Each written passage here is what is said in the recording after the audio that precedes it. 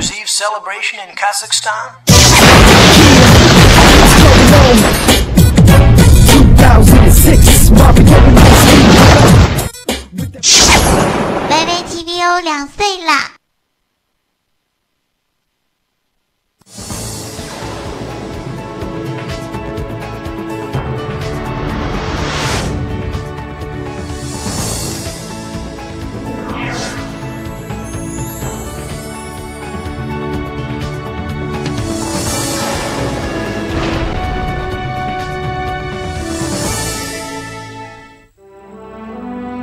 围城》一部文学名著，钱钟书一位学界泰斗，《围城》内外是否闪烁着作者的影子？山坳里的三旅大学是真实的存在，还是艺术的虚构？敬请收看《走遍中国楼底系列之说不尽的围城》。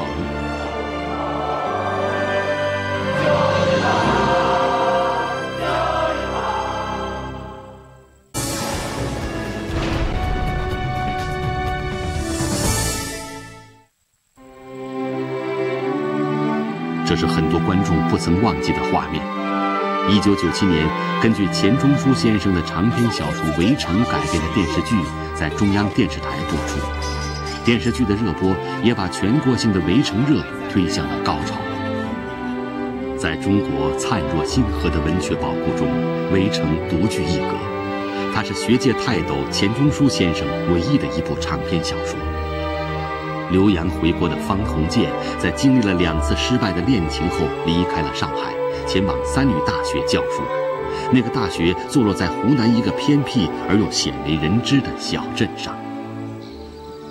古朴而又有几分神秘色彩的湘中小镇，小镇上三女大学里艰苦异常而又错综复杂的生活，在吸引人的目光的同时，又引发了更多的思索。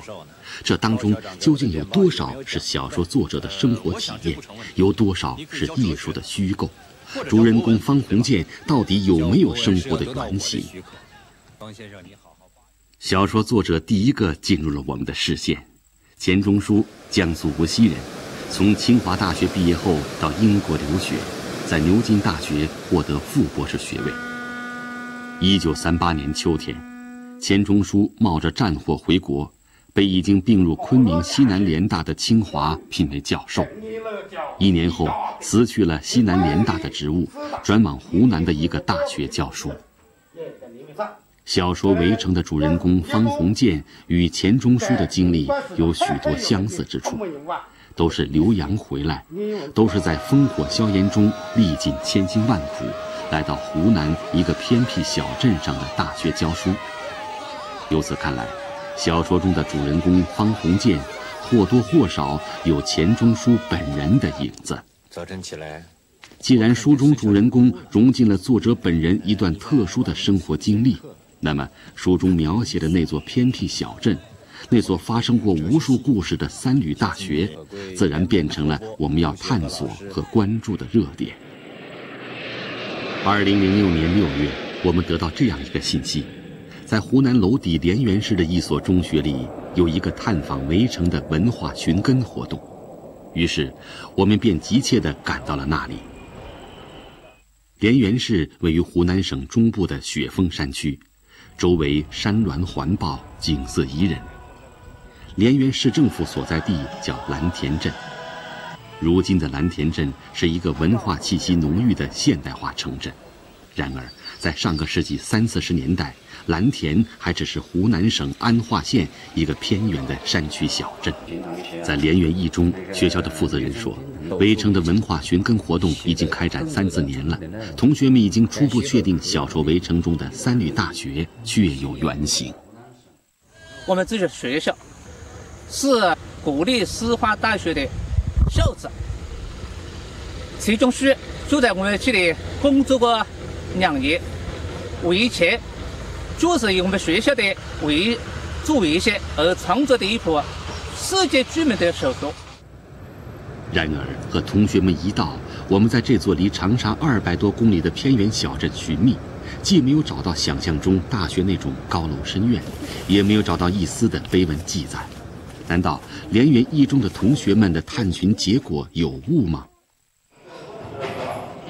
在文史专家的帮助下，我们查阅了莲园蓝田的历史，终于寻找到了那个特殊年代留下的痕迹。一九三八年，抗日战争进入第二个年头，战场上中国军队节节败退，随着大片的国土沦丧，中国的教育事业也遭受了毁灭性的打击。一百零八所高等院校，九十一所遭破坏。偌大的华北竟然容不下一张课桌，这句当时广泛流传的悲愤之音，形象地说明了中国教育界的惨状。面对这样的局面，在教育界人士和进步舆论的呼吁下，国民政府决定筹建一所国立师范学院，培养师资人才，院长由廖世成担任。廖世成，上海嘉定人，一九一二年考入清华。一九一五年赴美留学，获得哲学博士学位。回国后一直从事教育工作，在教育界有很高的声望。以廖世成为首的国立师范学院的筹备人员很快就确定下来，但是由于处在战争时期，办学的地点却让这些筹备人员伤透了脑筋。这里是位于湖南长沙的湖南师范大学，它的前身就是当年的国立师范学院。在学校的图书馆，我们找到了从事校史研究的孔春辉博士。他告诉我们，廖世成他们跑了许多地方，很长时间都没有找到理想的办学地点。有一天，廖院长在书店里面偶然遇到了长郡中学的校长鲁立刚先生。那么，长郡中学呢，当时迁在蓝田。那么，鲁校长呢，就出于对这个国师。落户湖南的殷切期望，就向这个廖院长呢推荐了，呃蓝田这个地方。那么第二天呢，他又怕蓝田这个地方太偏僻，文化又落后，是不是不合廖院长的心意？又专程再去拜访廖院长，并且跟他说，说呢，安化有安定文化之意，如果国师搬到安化去，那么日后必定安定。另外呢，蓝田呢就有青出于蓝的意思。所以的话呢，在这种情况下，廖院长就决定去蓝田看一看。廖世成到了蓝田之后，发现这里虽然地处偏僻，但是四周的群山却阻隔着战火，而且风景秀丽，民风古朴，还真是一个办学的好地方。蓝田郊外有一座山叫光明山，那时候山上有个私家宅院叫李园，园内有房屋两百多间。廖世成等人一眼就相中了李园。如今的光明山，往昔的旧貌全无，只有从这棵历经风雨的参天大树以及散落的残垣断壁，还依稀可辨当时李园的规模。筹备人员上门之后，深明大义的李园主人们很快腾出了李园，借给国师办学。经过简单的改造。民宅李园就变成了一所大学的校园。一九三八年十二月一日，国立师范学院举行了开学典礼。烽火岁月中，偏僻的山区小镇就这样有了一所国立的大学。这所大学从选址到改建到开学，仅仅用了一百二十多天。这样的办学速度，在中国教育史上也算得上是一个奇迹。同时，国立师范学院还是中国教育史上第一所独立兴建的师范学院。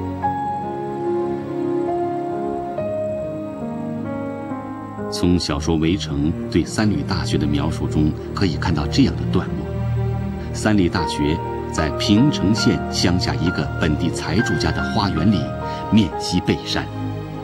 有人说，《围城》说的那个花园就是李园，说的那个山就是光明山。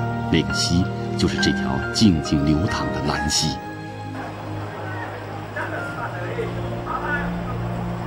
如果钱钟书没有在这里工作过，就很难有这样相像的描写。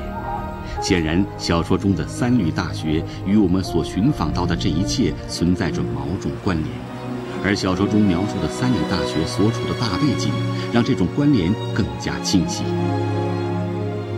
这乡镇绝非战略上必争之地，日本人唯一毫不吝惜的东西——炸弹，也不会浪费在这地方。而国师所处的蓝田正是这样的地方。他的这个所描写的这些地理的环境啊，基本上是取自于那里。根据寻访到的情况，我们可以初步推断，小说《围城》中的三旅大学就是蓝田历史上曾经存在过的国立师范学院的翻版。炮火硝烟中辗转千里，历经数十天，应聘赴任艰辛备尝。小说中的主人公与现实中的钱钟书将如何面对山坳里的非常岁月？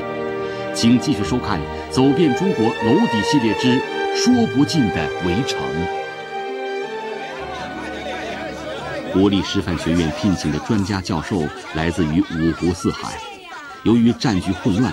再加上当时蓝田地处偏僻，交通多有不便，来自各地的老师学生一路上历尽艰辛。据史料记载，钱钟书本人1939年10月上旬，与几位国师的同事结伴上路，从上海出发，先是坐轮船到宁波，从宁波先坐汽车，后坐黄包车到溪口，再从溪口或坐长途汽车或步行。经金华、鹰潭、南城、宁都、兴国、吉安、邵阳等地，经过一个多月的艰辛跋涉，才在十二月初到达蓝田。到的时候，钱钟书先生形容一行人已经是皮骨仅存，心神交瘁了。这样一段颠簸跋涉的道人过程，在钱钟书的脑海里留下了难以磨灭的印记。以至于在小说《围城》里，作者不惜笔墨，对方鸿渐一行赴任路上的经历做了细致的描写，而这些也几乎就是钱钟书亲身经历的复制。在钱钟书来国立师范学院这件事上，首先困惑我们的就是，不论从地位、名望、影响上，还是感情上。毕业于清华大学的钱钟书都应该留在昆明的西南联大。到底是什么原因让他离开西南联大，来到湖南山坳里的国立师范学院的呢？带着这个疑问，我们找到了钱钟书先生唯一健在的国师弟子周令本教授。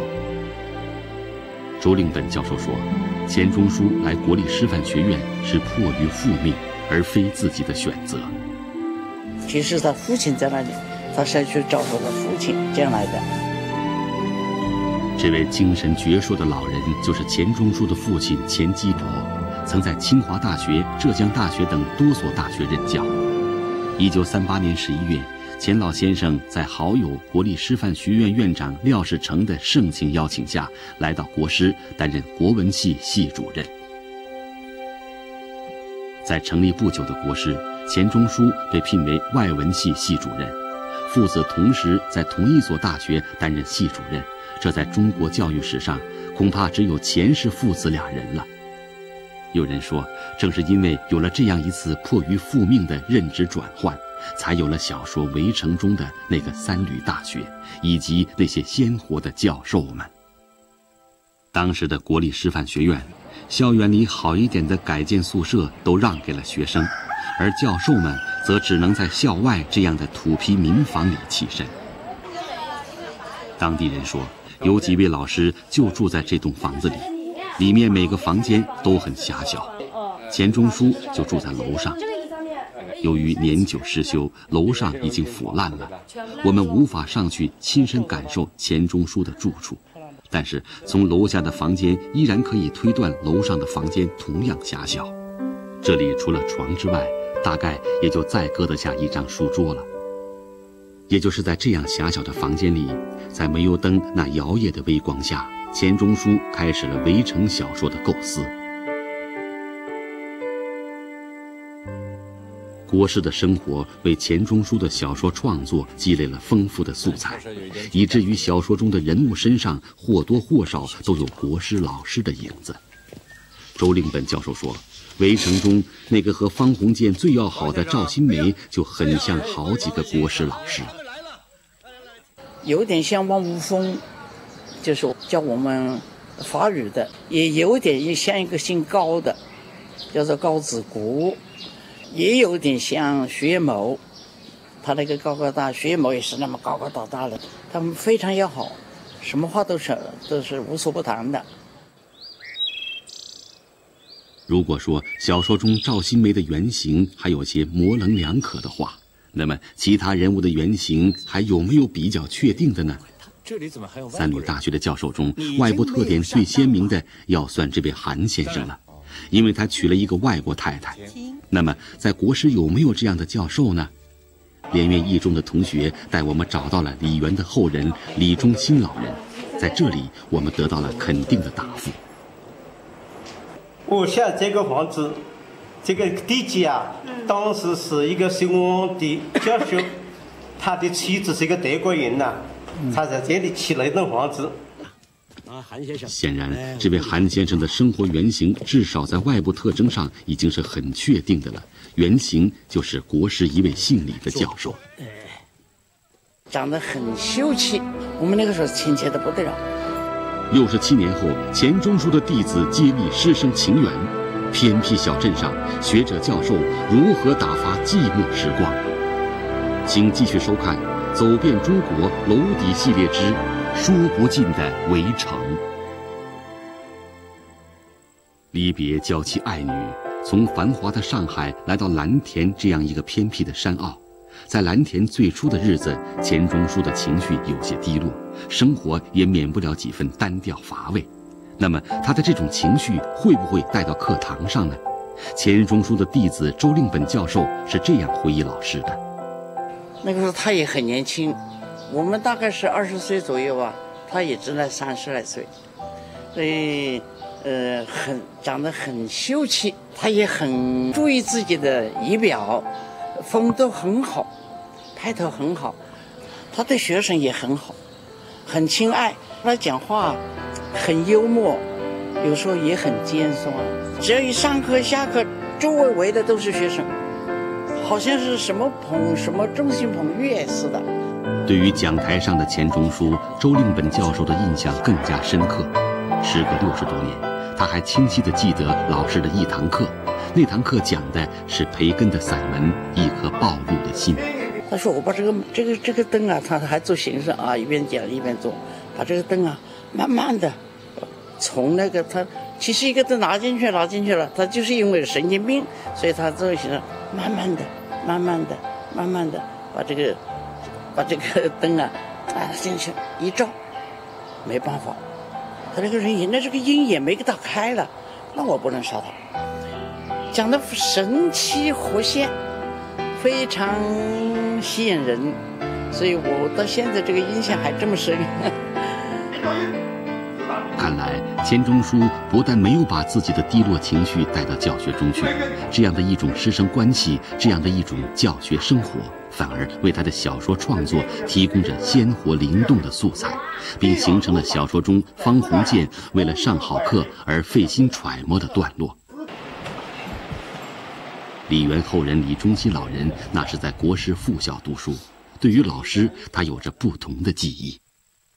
有一次，我打一个哈欠，他当时没有做心。后来他把课讲完以后啊，站在我的身边，我坐在这里了。他说打哈欠啊，不眼光，也不文明，领导人修这一遮。哈，他这一句话呀。我在脑子里面一直到现在，我还记得。在蓝田国师这一段特殊的日子里，三女大学的原型们并没有被寂寞和艰难击倒。一方面，他们致力教书育人；一方面，他们有潜心创作和著书立说。像楚安平先生的《英人法人中国人》，这个钱基博先生的《孙子章句训义》，像黄子通先生的《儒道两家哲学系统》。等等，这些著著作呢，都是在国师时期在蓝田这片土地上完成的。这些作品至今在我国这个学术领域都堪称是经典。正是在这样浓重的治学氛围中，钱钟书撰写了重要著作《谈艺录》的大半部分，并开始了小说《围城》的酝酿和构思。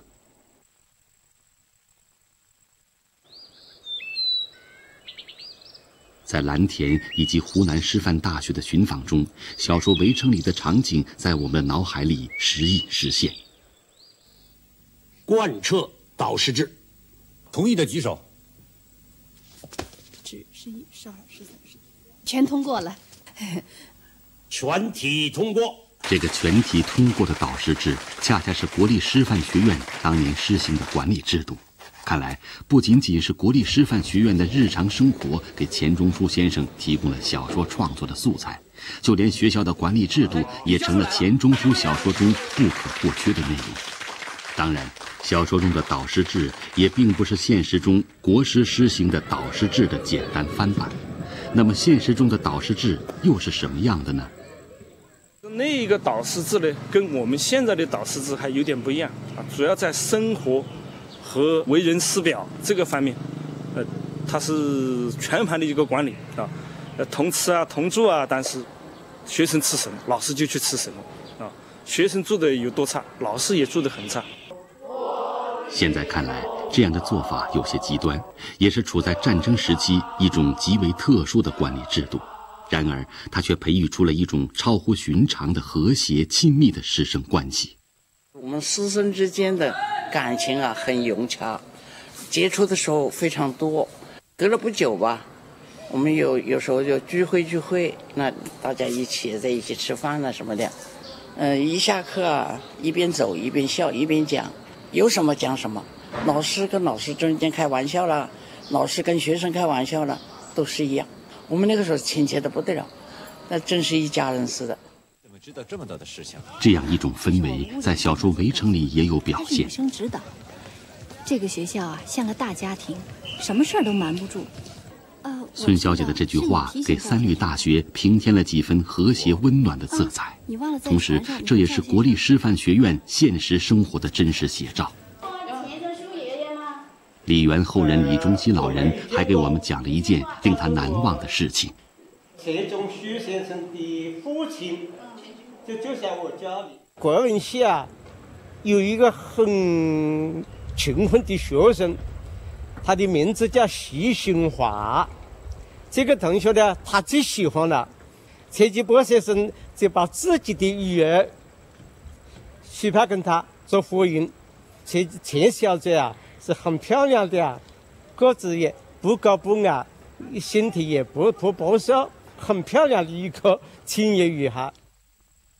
这种美好的家世，钱钟书虽然没有在小说中直接展示给我们，但是从汪楚厚夫妇给方鸿渐、赵新梅做媒的情节中，我们仍然可以窥见到国师同事师生间那种人性的关怀。两位小姐就交给你们二位先生负责了。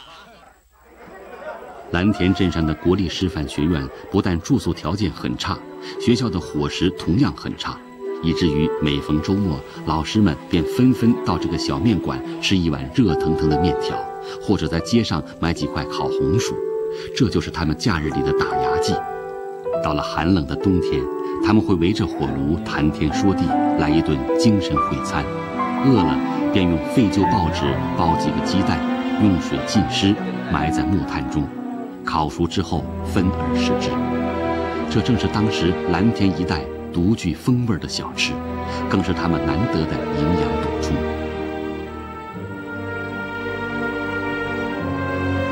一九四一年六月，钱钟书离开了蓝田，离开了国立师范学院。有人说，他的离去是因为离父亲太近感到压抑；也有人说，是因为太想念在上海的妻子女儿；还有人说，是因为太平洋战争爆发，上海沦陷，归途受阻。《围城》的作者走了，《围城》的主人公方鸿渐同样也走了。又过了三年，一九四四年，由于日军逼近，国立师范学院也迁出了蓝田。国师在蓝田的时间虽然只有短短的六年，然而留给蓝田的却很多很多。岁月留痕，这段历史对于连元蓝田有着异乎寻常的意义。